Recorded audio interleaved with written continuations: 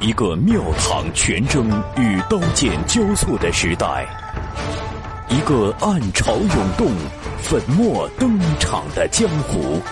您正在收听到的是长篇玄幻小说《雪中悍刀行》，作者烽火戏诸侯，由大斌为您播讲。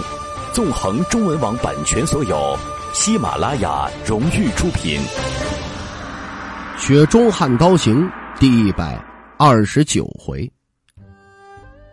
却说黄蛮儿赤手空拳走到当中广场的空地，轩辕敬义已经得到消息说呀，这枯瘦少年上山途中连杀十几人，都是被活生生的撕裂手脚，手段异常的生猛恐怖。轩辕敬义在老祖宗和父亲不在场的时候，便是辉山的旗帜。在高位上养尊处优，他最重脸面，就要给那世子殿下一个下马威。他冷声道：“放箭！”剑弦崩出一阵刺耳的嗡嗡声，箭矢如同飞蝗射向那不知死活的少年。一品出境金刚取自佛门说法，寓意长寿佛身。如来身者，即是金刚不坏、坚固身躯，金刚法身，号称三界最圣之身。仙人吕洞玄曾作歪诗，得传三清长生术以证金刚不坏身。说此诗歪呀，是因为混淆佛道两教，后辈却不敢轻视。世门道统都以此自我标榜，故而金刚境界在道教中又被视作小长生修为，以示与大长生的区别。这里头显然有道门的金贵嫌疑。绝大多数后天修就金刚境的武人呢，都是以体内精气借来不动如昆仑之力，刀斧加身而不侵。天象以下，金刚指玄两大一品境都是如此。吕春刚说呀：“当下金刚多如牛毛，实在是高看了如今的江湖了。”委实是世子殿下大树招风的缘故。寻常人一辈子别说看到金刚境高手出手炫技，便是离一品境只差一层窗户纸不能捅破的小宗师都不得见。剑矢在空中啊，抛出一道弧线，直刺黄蛮儿。精于剑术的武者挽弓，准度与力道都远超寻常的弓族。轩辕敬义眯着眼睛，静待那名少年躲避不及后，被射成一头刺猬。洪彪生得一副五短身材，仅就相貌而言呢，十分的不起眼。比起道骨先锋的首席客卿黄放佛，差了十万八千里。但洪彪胆儿大呀，心思却异常细腻，是典型的莽夫可绣花。看到箭雨泼去，他忧心忡忡地说：“先生，听说赵老天师秘密收了名徒弟，是北凉小王爷，舞台根骨十分不俗。”会不会就是眼前此子啊？若是同时惹怒了北凉王府与龙虎山，会不会后患无穷啊？轩辕敬义轻声笑道：“你猜他是北凉小王爷，可我不知道啊。再说了，既然是赵西团的高徒，咱们都该有些斤两，否则真当孤牛大刚是那山下的酒肆茶馆说来便来，说去便去了。”这轩辕敬义与红标此时他同时一愣，飞黄气势汹汹，当空坠下，丝毫不见少年有气机流转的迹象。他不躲不闪，伸手拨去几根箭矢，来不及拨开的呀，任由其射在身上。但激射而至的羽箭如撞在金石上，尽数折断，竟是以卵击石的下场。几根算计到少年躲避方向的羽箭射中地面，都擦出一阵的火花，可见其攻守气力之大。这越发的衬托出场内景象的古怪。气不以气机壮大体魄，却又能让那些根箭羽折去，识货的灰山客卿们都面面相觑呀。黄放福淡然道：“好一个生而金刚经！”以前只听前辈们当咄咄怪事说起，始终不敢信以为真。今日大开眼界。客卿边缘一名秋日摇扇的美貌男子，虽说生了一双桃花眼，但怎么看都透着一股子邪气。扇面正反绘有十数名女子，写有姓名家族，以十几二十几字描绘其风流，尽是些个艳词秽语。这些女子啊，都遭了他的魔爪了。美人扇已有十数把，都被他小心的珍藏着，说是当做传家宝啊，要交给后人。这位自诩诗画双绝的情场圣手，这些年呢肆意花丛，若非前年毒害了一名郡守之女，彻底惹恼了官府，他才不会来辉山看人脸色行事过活。山上哪有山下那般快活自在呀？辉山山清水秀，美人美这不假。可这样都是留给那辉山的嫡系独享的，他早就心生不满，多有怨言。此人口碑恶劣至极，很难想象这么一个人人得而诛之的淫贼，却能写出诸多“人生须臾一百年，且去酣畅骂万古”的气概诗句。他见到那名据说是北凉世子的佩刀青年，相当不顺眼了。他生平啊，最恨两种人。一种呢是丑陋的女子，那会污了他的眼睛；一种啊是比自己英俊的男子，前者他可以不去看，后者却多半要被他折腾成残废才肯罢休。场中少年武力惊人，但他掂量了一下，看那小家伙的表情啊，痴呆木讷，觉得只是个会使蛮力的。他对这些倒是半点都不惧，要做采花贼，跑路是最紧要的本领。所以他的轻功在高手如云的灰山上都可以排在前头。他觉得在灰山实在是待的乏味腻味，一些个出彩的旗帜女子又被瓜分殆尽了，只能看不能吃，这太挠心肝了。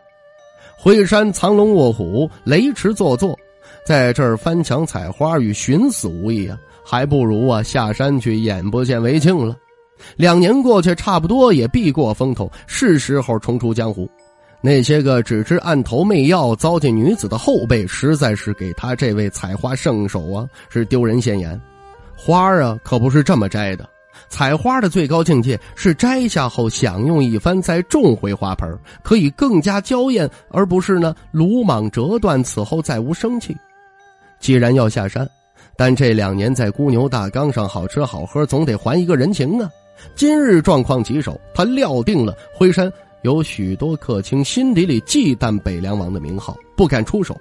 可他不一样，下了山后，管你是天王老子还是异姓藩王，我龙宇轩何处潇洒不得呀？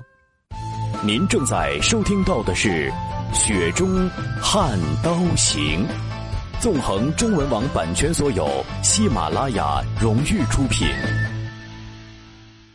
却说黄蛮儿回头看了眼徐凤年，得到眼神允许后，开始撒丫子狂奔。不许再用霸王卸甲这般拼命的招式了啊！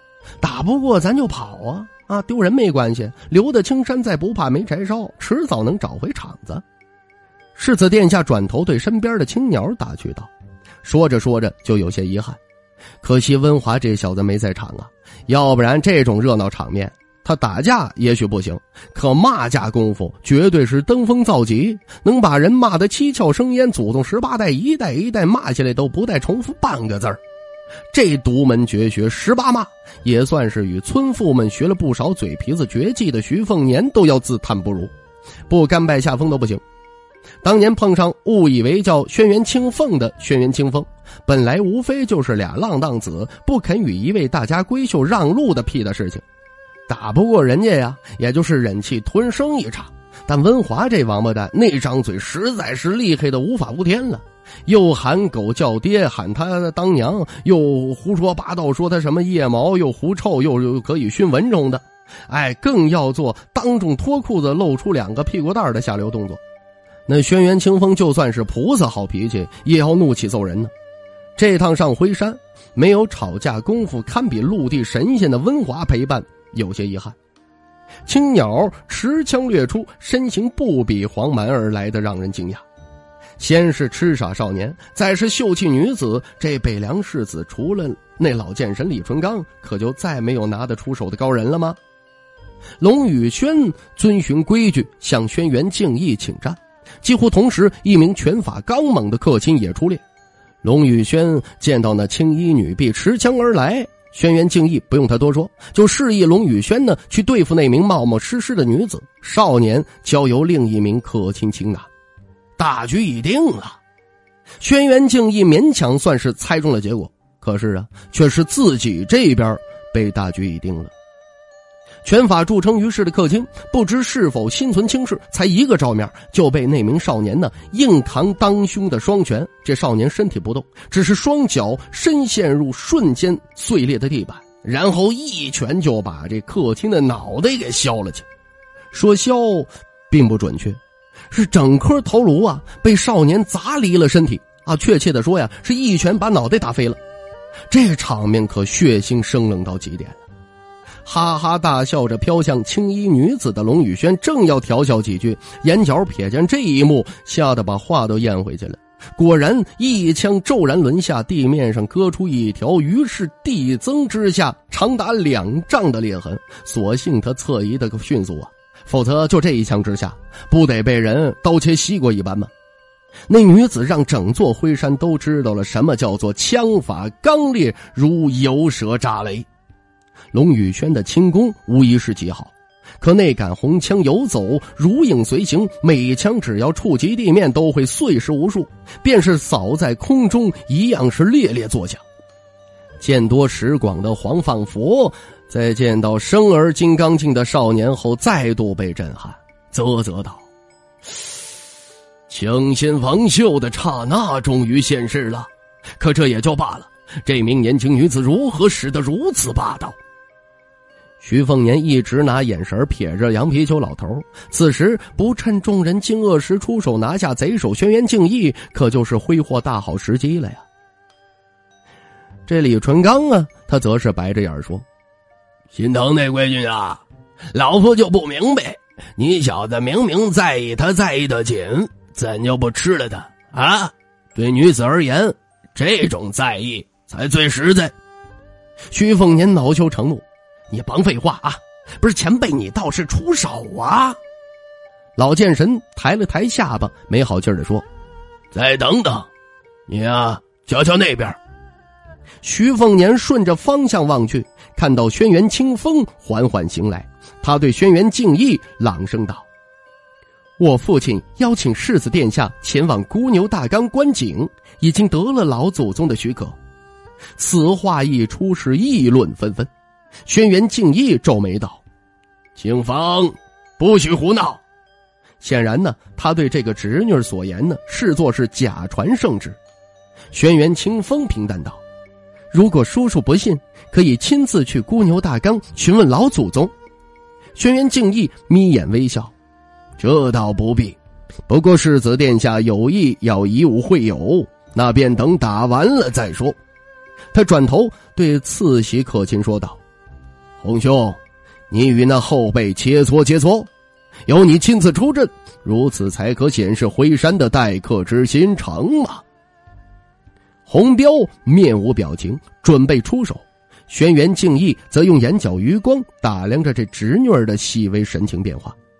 他对轩辕清风并无好感，身为女子，却想要从自己这个亲叔叔手里边夺权，真真正正的是心比天高，命比纸薄啊！轩辕敬义等到他出生，断定那也是呼气多过吸气的袁庭山已被侄女当做妻子了，转而傍上了这北凉世子的大腿，希望借以外力来抗衡老祖宗所在的孤牛大纲府邸。可这位声名狼藉的世子殿下有这个本事去叫板老祖宗吗？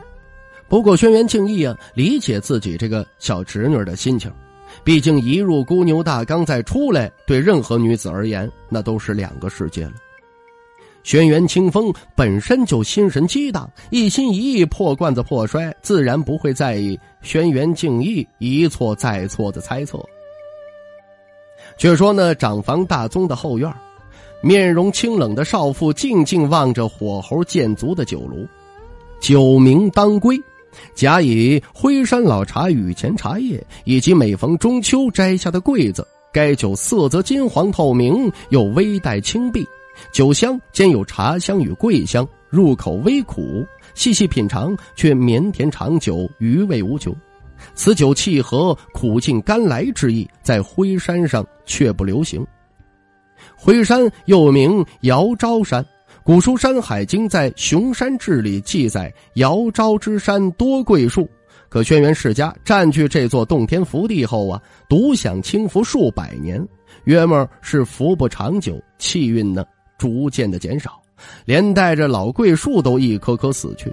去年甚至连那棵性命比龙虎山一千六百年天师府还要长久的两千年老桂树，被取名唐桂的仅剩一棵的桂树都凋零了。故而这当归桂子酒，除去去年摘下桂子酿就的几坛子酒啊，便终成了绝响了。徽山都知晓嫡长房轩辕敬成是个荒唐人，嗜好以圣贤书下当归酒。老一辈更记得每年轩辕清风生日，这名曾痴心妄想要下山考取功名、死活不愿习武的读书人，都会啊带着年幼的女儿去唐贵那边刻一下身高。只是十五岁以后啊，早熟世故的轩辕清风便将这档子事儿当作耻辱，不愿再做，与父亲呢也愈行愈远。这些年，唯有黄放佛等屈指可数的几个与那书生啊还算谈得来的客亲，才有口福喝上一壶色泽成琥珀的刽子苦酒。轩辕敬城喝酒喜欢的苦味儿不负怪人的印象。轩辕敬城每年酿当归酒三坛，两坛呢都让人送来庭院，自己呀只余一坛，所以他从来都是啊喝不够酒，而这儿呢却是从来不喝，任由年年两坛的酒啊搁置闲置，年复一年，酒坛子越来越多，酒香也就越发醇厚。这妇人终于起封一坛酒，搬来一套尘封多年的酒具，酒具呀是那男人自制而成。反正除了习武，那人仿佛没有不擅长的事情。独坐的他盛了一杯酒放在桌上，好似对于喝不喝酒犹豫不决。他没来由的开始恼恨自己，伸手猛地拍掉那酒杯。半晌后，他起身去拿回酒杯，才发现这杯底刻有两行小字，字迹轻易出尘：“人生淡苦无妨，良人。”当归极好。大雪坪之上，黑云压顶，山雨欲来，想要撼动那昆仑。轩辕大盘听到孙子轩辕敬城的言语之后，仰头豪放大笑，丝毫不介意对敌在即。这并非是轩辕大盘自负，扳手指头算上一算。这位老人曾经校正过的对手，以及啊籍贯时挑战的家族老祖，让其重伤不治。而立之年呢，迎战枪仙王秀，稍逊半筹。四十岁，单枪匹马入吴家剑种，逼迫那一代剑冠使出飞剑术，虽败犹荣。剑种一战，十年悟剑，自信剑术可以媲美那一辈江湖顶峰的剑神李淳罡。与吴家剑种再战，再败。继而练习刀术，与年轻的顾剑堂一战又输，更别提期间呢，轩辕大盘还与仙人齐玄真比试过内力，落败是自然。可若他修为平平，一生都待在斩魔台上悟道的齐玄真，岂会出手啊？轩辕大盘看似与人比武，次次都输，故而被嘲讽为轩辕不胜。可是，咱不说五百年唯一即可并肩吕祖的齐玄真，以及那时候世俗天下无敌的李淳罡，便是当时最不起眼的顾剑堂，如今也是刀法超凡入圣，自称第二，无人敢称第一。如此一来啊，又有几个人敢小觑这位轩辕世家的老祖宗了？世人喜好一味的高古贬今，轩辕大盘活了近百年，他与境界江河日下、最终一蹶不振的李淳罡不同。大体而言呢，他一直是稳步上升。世人预测，天象镜早在轩辕大盘涨潮之年就已到达。这些年潜心双修，致力于将儒释道三教融于一炉。以轩辕大盘的老而弥坚，未必无望陆地神仙境界。龙虎山在齐玄真飞升登仙后，再无此境大真人。当年之仇，一旦被轩辕大盘成就大长生，算是一并奉还给道教祖庭。到时候，顾剑堂即便刀法超绝，又怎是一位陆地神仙的对手？耳目灵通人士对于李淳刚的登山不乏恶意揣测，独臂老头想要借轩辕大盘立威，而且大多不看好境界大跌的李淳刚了。江湖上好事之徒啊，专门为此啊，还给出了赌注，压住李淳刚与各位一品高手的胜负，无一例外呀，赔率极高，说明对李淳刚是何等不抱希望。至于与王先知以及新剑神邓太阿的赔率，大抵啊是下注五千两压李淳刚胜出，就能让庄家倾家荡产的地步了。江湖健忘而薄情，便如那文人相轻，自古皆然。轩辕大盘十年闭关，明显境界大涨，双鬓由双白转为青黑，即是证明已经返璞归真了。是正得长生真人的玄妙兆头。齐玄真在龙虎山斩魔时，古稀之年却是容貌俊逸如弱冠男子。这轩辕大盘呢，他也不急着出手，等了二十年，终于等到这一天。往往年纪大了，耐心也就越来越好。轩辕大盘望着远处一记起手式不沾烟火气的嫡长孙，眼中不带任何感情。对他而言。血缘关系可重可轻，听话乖巧并且有望成龙的，那便栽培；若是根骨平庸的废物，便是亲子亲孙，不如心意也要被他随意的舍弃。轩辕大盘何曾是那种喜欢年姨弄孙的慈祥长辈呀？天伦之乐比起自身的长生不朽不值一提。眼前这个曾经让他寄予厚望的长孙，他破例多给了他一次机会。第一次啊。实施轩辕敬城成人礼时，问他是否愿意习武。可惜这顽固孩子执意要学那知章成寻平治国平天下，这也就罢了。轩辕大盘委实是惊艳于这孙子的天赋，哪怕一辈子都是一块未经雕琢的璞玉，就当搁在家里边蒙尘也好。后来轩辕敬城啊，遇到了那名落难女子，回山祈求家族出手相救。轩辕大盘于是再给了他一次机会，可这个将一身才华暴殄天物的孙子竟然再度拒绝。轩辕大盘雷霆大怒，不再将其视作嫡长孙，转而培养天赋较差但胜在是野心勃勃的轩辕敬轩。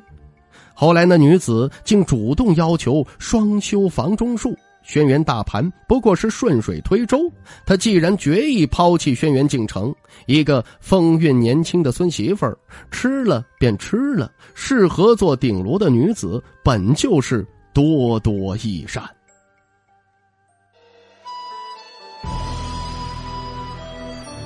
听众朋友，《雪中悍刀行》纵横中文网版权所有，喜马拉雅独家出品，作者烽火戏诸侯，由大斌为您播讲。更多内容，请登录喜马拉雅电台或添加“大兵小说”微信公众平台 “dbxd 九八一”。雪中悍刀行，今天为您播讲到这儿，感谢您的收听。